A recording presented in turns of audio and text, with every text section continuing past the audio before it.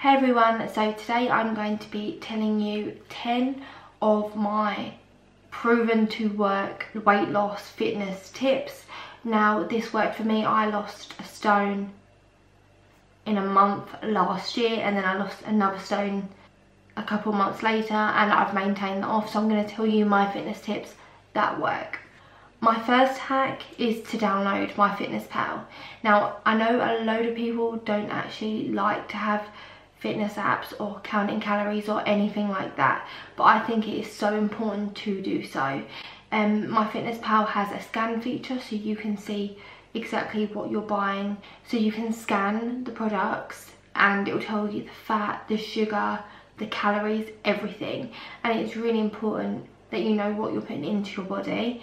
Um, obviously to lose weight you have to have a deficit in your calories so you have to burn more calories than what you take in to lose weight. I used my fitness MyFitnessPal religiously when I first started to lose weight because I didn't realise how many calories were in stuff. So when I first started, I'd be like, yeah, I'll have a flapjack as a snack. Obviously that could be like 300 calories and I didn't even realise. So actually seeing what you put in your body is quite important and keeping a food diary, you can see what works for you and what doesn't. Number two is to buy a water bottle. Now, I didn't drink enough water before and drinking water made such a difference to my skin, to the amount of times I peed a day, to my body internally. Like drinking water is so good for you and I drink at least two litres a day. So having a bottle like this is really handy. Obviously you're not wasting plastic.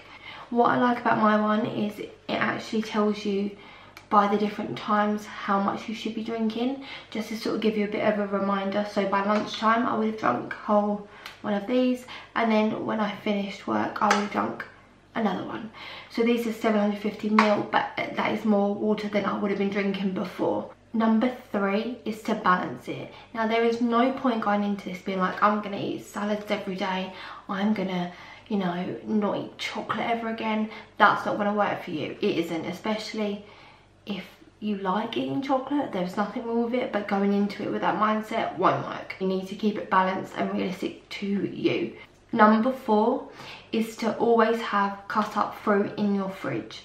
So whether that's blueberries, um, just in a bowl or pomegranate or cut up apples or bananas or strawberries, have them cut up in your fridge in a bowl on a shelf and then when you do get home from work or school and you go home and you're like what do I want? It just sometimes when you see like apples you're like I don't want to cut it up I just want something quick. That's what I did especially during the beginning I always used to snack.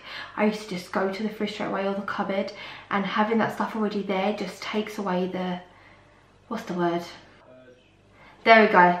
It takes away the urge of wanting to eat bad. Number five is don't skip a meal. Skipping a meal is so much worse for you than eating a meal, obviously.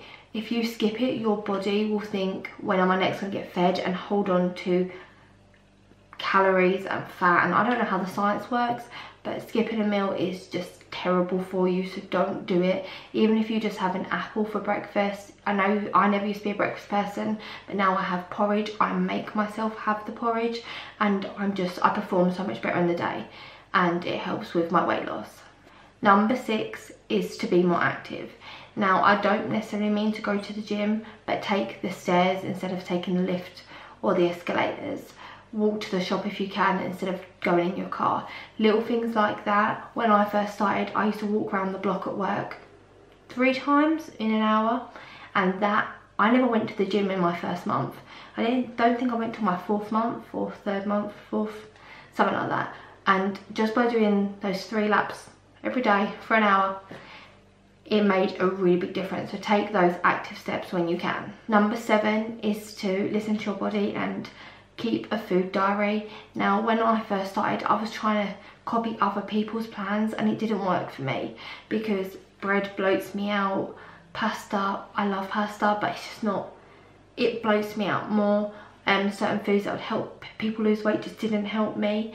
So by keeping a food diary on MyFitnessPal, really easy to do, you can just see what your body reacts to positively and negatively and you can then work that around your plan. Within the first month you should have a good idea about what works for you. Number eight is to pay attention to when you eat.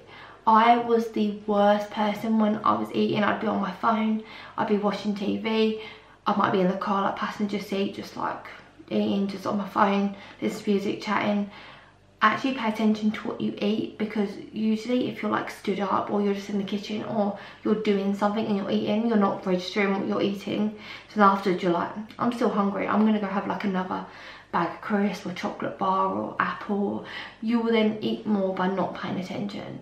So just for those three four minutes that you're eating just sort of focus on your food. Number nine is to sleep get a good night's sleep. Now this is something I struggle with. I do suffer with a bit of insomnia. I can't say the word.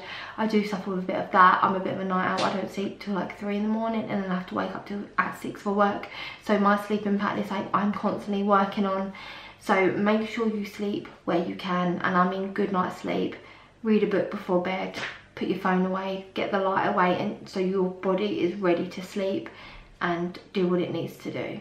Number 10. Now, if you're like me, when you're at work or just sat there, you might just want to like snack, but I usually chew a lot because I just want to be doing something. I fidget a lot and by having chewing gum or like a mint, all sugar free obviously, or even celery sticks or cucumber cut up just in a container at work. So if I do feel like, oh God, I haven't eaten in a while, I just pick it up, eat it, and then that just, I sort of ride the wave of like, hmm, am I hungry? Am I not?